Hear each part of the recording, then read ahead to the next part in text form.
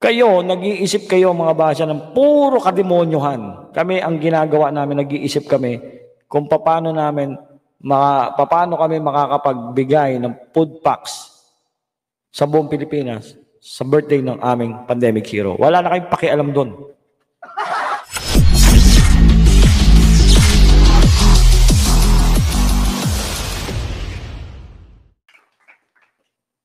Kayo, nag-iisip kayo mga basya ng puro kademonyohan. Kami, ang ginagawa namin, nag-iisip kami kung paano namin, mga, paano kami makakapagbigay ng food packs sa buong Pilipinas sa birthday ng aming pandemic hero. Wala na kayong pakialam doon. Diba?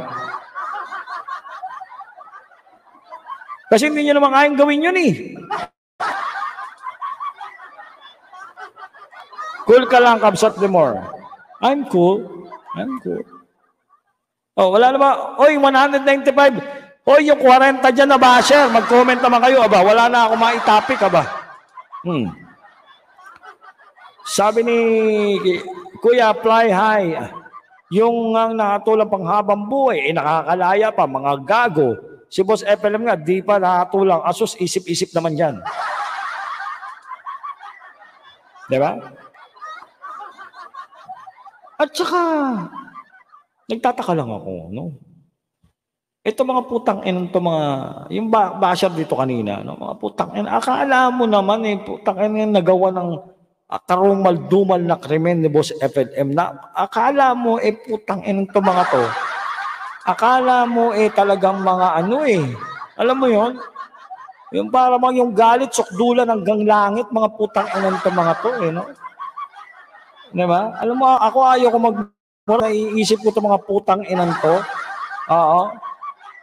Patawarin ako ng Diyos pero itong mga putang inang taong to, hindi mo alam kung kung ano ang naging kasalanan sa kanila ni boss. Pag tinanong mo naman yan, naagrabyado ka ba ni boss ni boss Apollo? Hindi. Nagkita ba kayo personal? Hindi. Nakausap mo ba siya personally? Hindi. Eh, ba't nagalit-nagalit kang putang ina mo?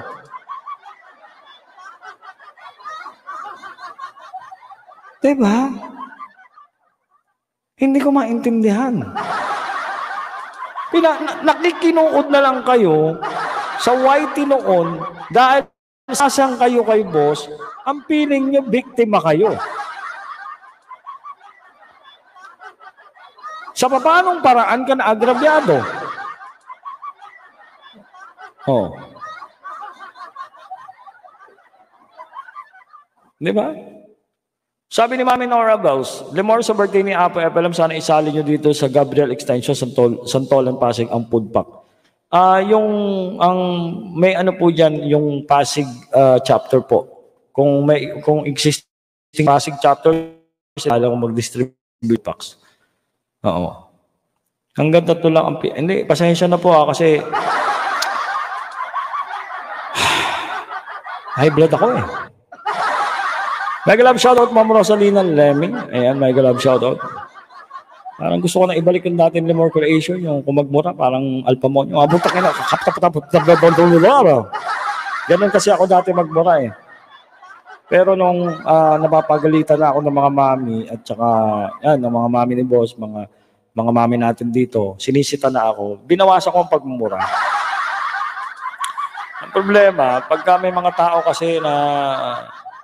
Mayayabok, men. Eh, sinabi, titirisin ako eh. Pag nagkita ro kami, titirisin. Ano ko? Kuto? Ipinagpipilitan na, na guilty daw ang hatol kay Boss Evelyn. Ano malay ko? Hawak ko ba yung dokumento? May pinorward na ba dito sa opisina? Tapos sasabihin pa, umayos daw ako kasi ako raw malilintikan. Ay, may putang ina naman. Wala pa nga ako sinasabi, malilintikan na ako. Kasi sasabihin yan, sasabihin, ang argumento kasi niya mga yan, yung mga putang inang yan, ha? Eh kasi, nililigaw nyo ang tao. Oh, yung mga supporter diyan na nakikinig diyan, mga tanga sasabihin. Ito na nga ang decision sasabihin ha. Mga kapatid, huwag kayong magagalit sa akin ha. Ang argumento niya mga putang inang yan ganito.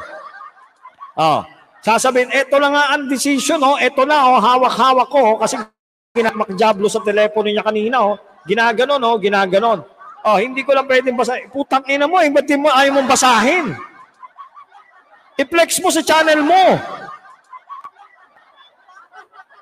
O, di ba? Sasabihin yung mga, yung mga tangang supporter na naandyan pa rin, naniniwala pa rin. Hindi nga ganun ang point, men eh. Hindi ganun ang point eh.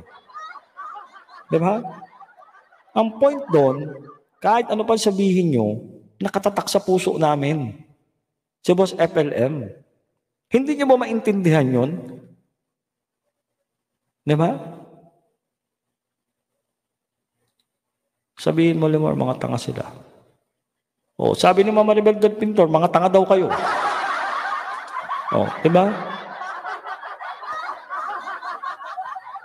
Sabi ni Ma'am Gloria Mesa, mega celebration ng birthday ni Sir Evelyn. Maraming tao at bata ang matutulungan at matutuwa. At lalo na ating pandemic hero. God bless us all. Solid FLM. Di ba? Peke yun, Lemor. Sabi ni Ma'am Donya Plastica. Oh. O baka kaya ayaw, si Bungo ba, dinisplay niya, plenex niya ba sa channel niya? Tingnan nga natin. Init ang ulo ko.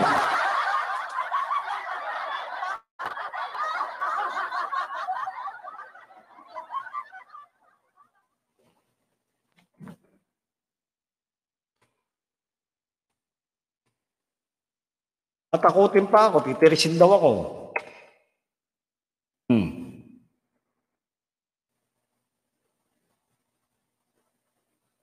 O eh, bakit hindi maipakita ni Bunga? Bakit nakaganon yung telepono? Oh. I-flex nyo. Ngayon ang tanong, ngayon ang tanong, eto. Ngayon, eto ang tanong. Okay, okay, sige, sige, sabihin nyo na tanga kami ha. Sabihin nyo na tanga kami. O, ang tanong, sige, merong decision. Ngayon, may penalty na. Sige na, okay na. Ang tanong, Anong gusto niyong gawin namin? Bumitaw kami? Anong gusto niyong gawin namin? I-condemn namin si boss? Anong gusto niyong gawin namin? Iwanan namin siya? Eh, hindi naman, hindi naman, wala naman ditong pilitan kung gusto niyo sumama eh. Marami nga umalis, di ba? Pinigil ba namin? Hindi. Oh, ngayon, halimbawa, totoo yan sinasabi niyo, yung pinapakita niyo, may pagganon-ganon pa ng telepono, ni ayaw ipakita yung ano, nakaganon lang, o nakaganon, oh. Oh, sige, sabihin natin tama. Anong gusto yung gawin namin bilang nagsumusuporta kay Boss Evan? Iwanan namin siya? Yun ang gusto niyo mangyari?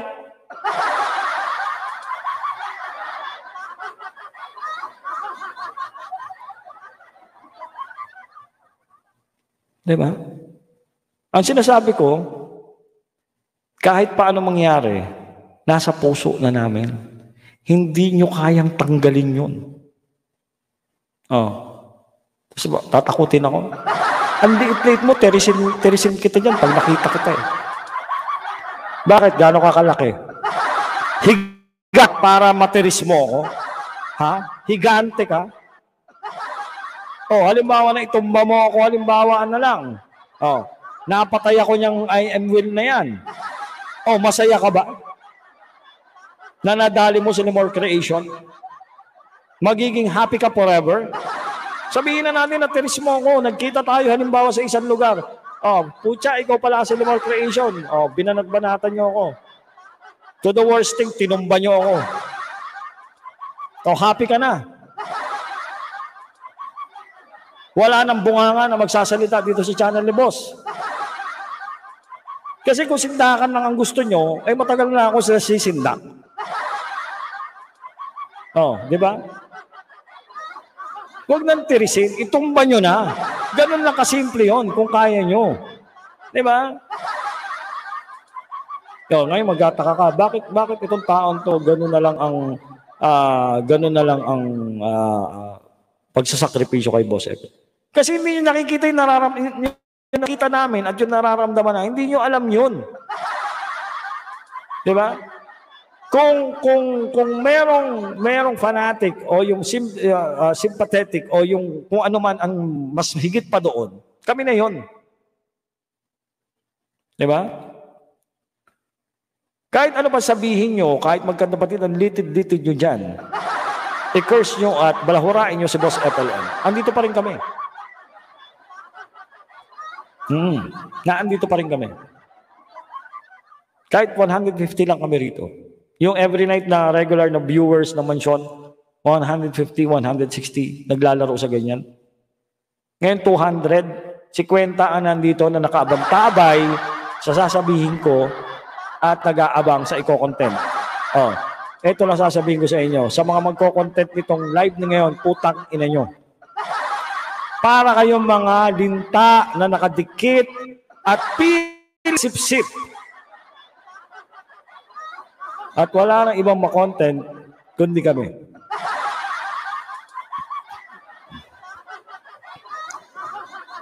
Di ba? Mega love shoutout po Ma'am Marisa Krausus at Ma'am Clarita Tumbaga. Kahit anong paninira nila kay Sir FLM, hindi na nila maialis siya ang the only, the, ang the one and only pandemic hero. Sabi ni Reservist 8919, inamin na ni Bungo nga fake daw ang decision ni Sir FLM. Oo. Eh, kung peke, kung real, alam. Eh, yung mga basher kanina, oh, utang ina, akala mo eh. Hindi ko alam eh. Ang document, wala dito, pero kung hawak ko yan, baka siguro pwede ako mag-reaction. Pero hindi, hindi para ke na ipaliwanag ko o mag, mag-abogado, abogaduhan ako na piling, pipilingin ko na uh, kabisado ko ang batas. Hoy! Makmak! Putang ina mo ah. Nung araw eh, tangin.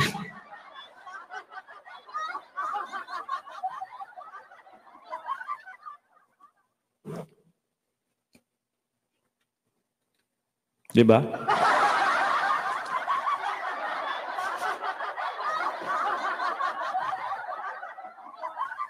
Sabi ni ah teka, sabi ni bakit ba nag-hide-hide yung ibang comment nyo? Teka lang ha. Sabi ni Andras, bungo ngak-ngak dapat sa inyo yan al panot ng haring magbigti na lang kayo. Sabi ni ah Andraste.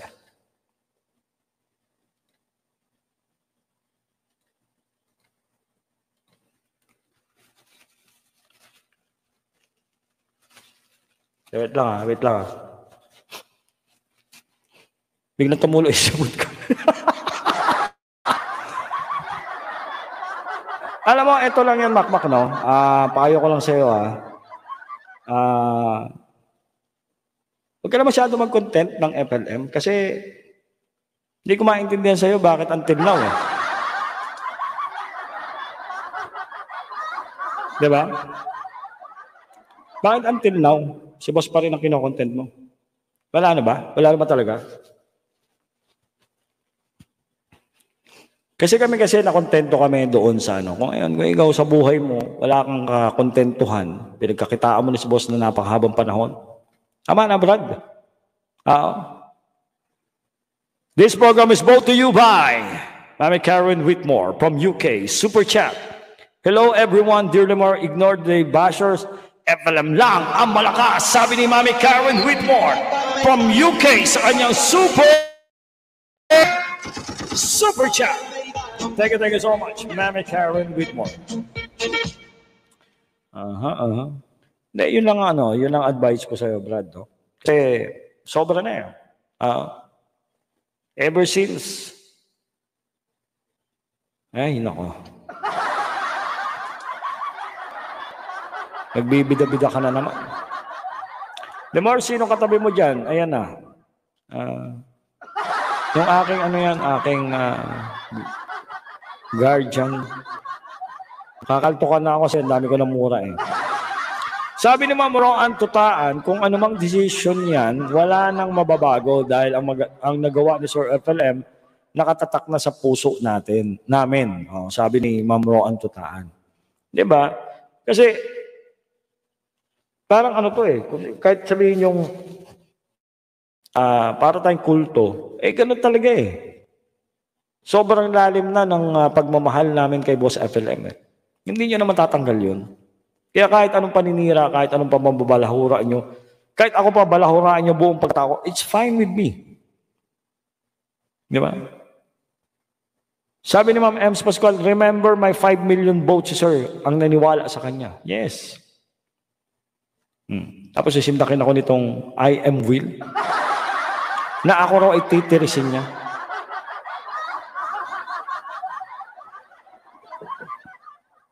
Punta ka dito sa bahay, Brad.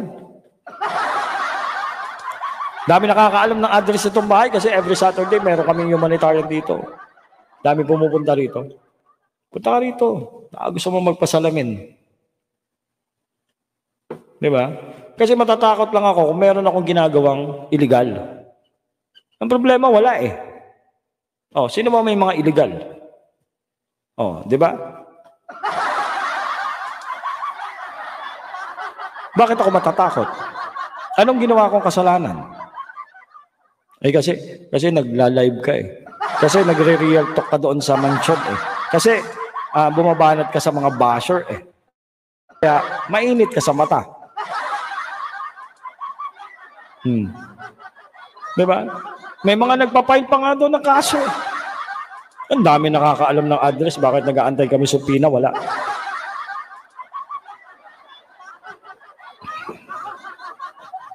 Sabi ni President Man of Steel, at kahit, at kahit pang mangyari, masaya kaming dugong FLM na patuloy na tumutulong sa kababayan sa Pilipinas. Yes. Mali ba yon? Masama ba yung itinanim sa puso natin ni Boss FLM? Masama ba na tumulong sa kapwa na nangangailangan? Putang ina ko, ito'y masama. Magpapakasama na ako. Bullshit.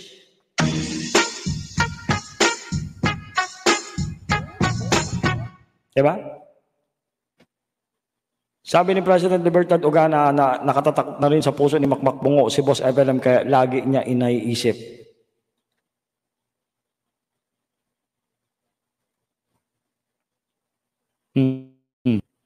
Sila ang multong buhay lemor.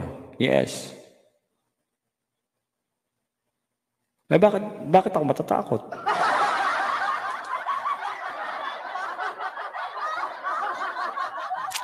The more nandiyan na naman si Makmak, paalisin, paalisin na yan. Hindi ko alam eh, bigla na nasusulpot, akala mo bidang-bidang, putang ina eh. Init ang ulo ko kanina habang sinend sa akin. Sino ba kasi nag-send sa akin ng video na ganyan? The more kota ka na sa PI mo, breakfast mo na, caucus, I have an appointment na, sa Malacanang. Wala, si Ma'am Grace, huwag niyo ako susumbong kay Presidente. Ah ah, kota na ako sa mura. Hindi na po ako magmumura. Tama na po. May na high blood na yung mga mami dito. Ito kasi, ito kasi si Ngak Ngak Gaya ng tatay ko, Tolemor diehard Marco siya until he died. Oh, di ba? Hindi ko alam bakit galit na galit eh. Akala mo ba yung ano, yung sobrang biktima na akala mo uh, naapi ng husto na akala mo OMG. Di ba?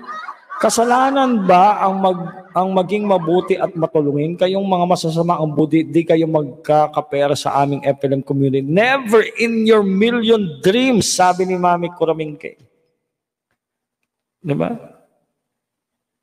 Ano ba ano ba itinatak sa atin ni Boss FLM? Yung pagiging maka, maka uh, anong tawag dito, uh, bayanihan, uh, kapag may nakita ka nagugutom, kung kaya mo namang umag-abot ng uh, tulong sa abot ng iyong makakaya, magbigay ka. Diba? Masama ba yun? The more wag mo patulan sa Hindi, bibigyan natin ng ano, uh, Mami, uh, Mami Nora. Bibigyan natin ng uh, tawag dito, baliktarin natin ang mga utak nito, mga mga tinamaan na magaling na to. Sabi ni Ma'am Janet Tamog, wala talagang kadalaan nito mga basher. Pilit nyo mang sirain, wala na kayong magagawa at hindi mawawala ang nagmamahal sa pandemic hero. O, oh, di ba? Una-una, siyempre, ah, uh,